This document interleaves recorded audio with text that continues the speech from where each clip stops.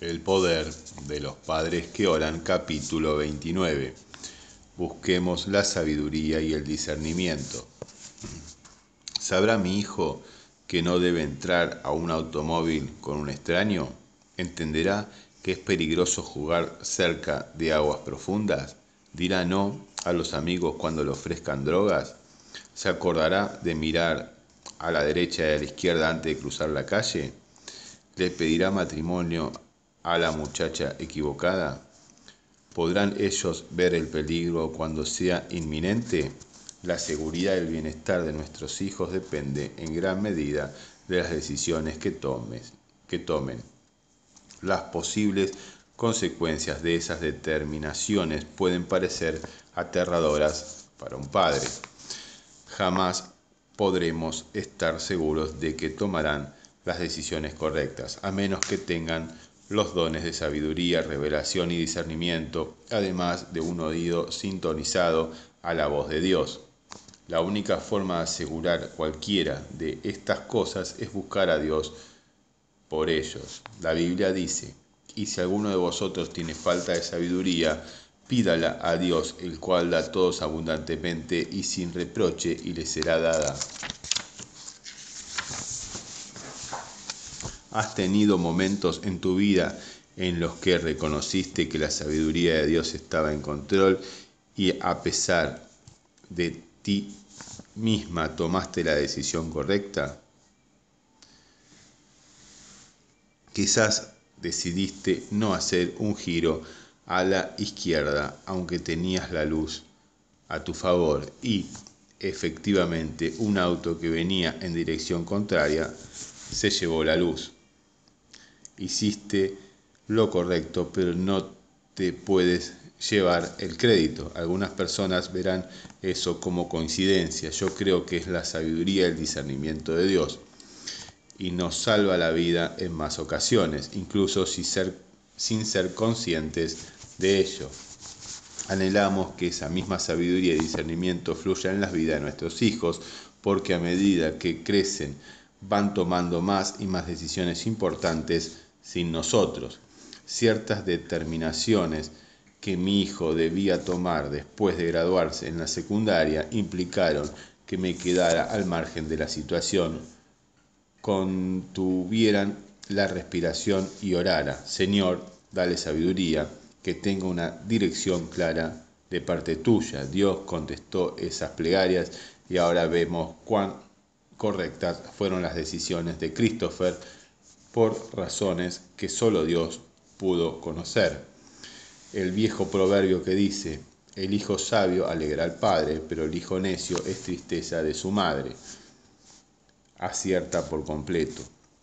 No hay nadie más orgulloso que papi cuando su hijo hace una situación sabia, pero cuando un hijo se comporta sin sabiduría, nadie sufre más que una madre. Proverbios también dice que si clamamos por discernimiento y lo buscamos, como a un tesoro escondido encontraremos todo el conocimiento de Dios.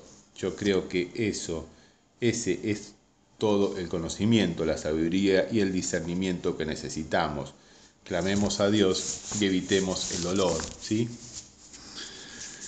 Señor, oro para que le des los dones de sabiduría, discernimiento y revelación a Marcos Samuel.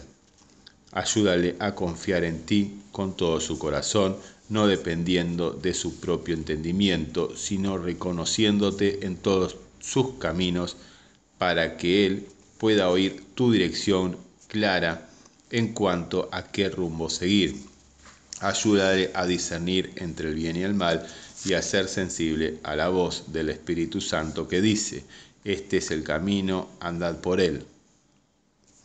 Yo sé que una gran parte de su felicidad en la vida depende de adquirir sabiduría y discernimiento, lo cual, según tu palabra, trae larga vida, prosperidad, reconocimiento, protección, disfrute, contentamiento y bienestar. Anhelo todo eso para Él, pero quiero que esas cosas lleguen como bendiciones de tu parte. Tu palabra dice, el principio de la sabiduría es el temor del Señor y el conocimiento del Santo es inteligencia. que un temor y conocimiento santo de ti sea el fundamento sobre el cual la sabiduría y el discernimiento sean establecidos en él, que se vuelva hacia ti al tomar cada decisión para que no lo haga desacertadamente. Ayúdale a ver que todos los tesoros de la sabiduría y del conocimiento están escondidos en ti y que tú los das sin restricciones cuando los pedimos. Al buscar sabiduría de ti, Señor, derrámala con generosidad para que todos sus caminos sean de paz y vida. Mucho se alegrará, se alegrará el Padre del justo y el que en gran, engendra sabio se gozará con él.